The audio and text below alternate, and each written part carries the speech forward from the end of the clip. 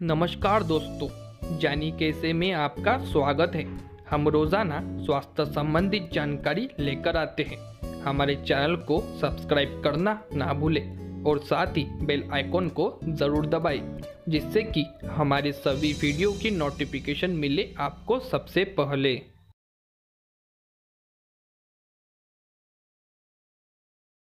सुपारी skin problems को दूर करने में बहुत मददगार होती है।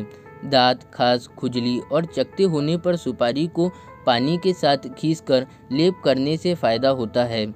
सुपारी में एंटीऑक्सीडेंट मौजूद होते हैं, जो विषैले पदार्थों को फ्री रेडिकल्स को बाहर निकालने में मदद करते हैं।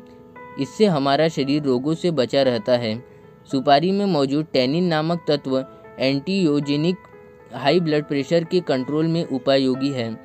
बहुत सारी लोगों को दांत पीले होने की समस्या रहती है। इसका कारण ज़्यादा चाय और कॉफ़ी की वजह से हो सकता है।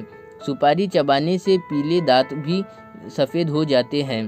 सुपारी को टुकड़ों के रूप में नियमित रूप से मुँह में डालकर रखना हानिकारक है।